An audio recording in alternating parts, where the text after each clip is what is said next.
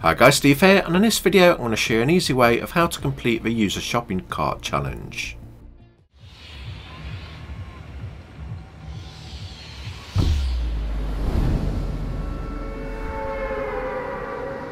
When you jump out of bus, head to the small mountain to the south of Pleasant Parks.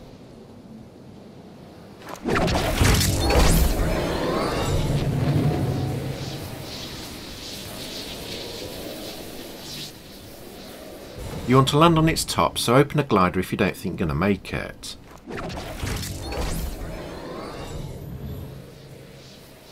When you get close to it, you see some platforms going off the sides. Land on the top. Just collect a weapon.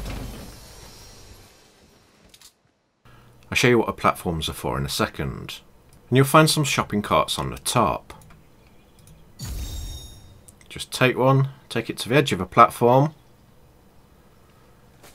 get in it and roll down the hill. Whee! Oh, I've hit a tree.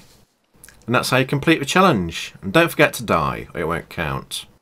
If you found this video helpful, please like, subscribe, and click the bell icon next to it to get notified, as I'll be uploading other videos to help you complete your Battle Pass each week.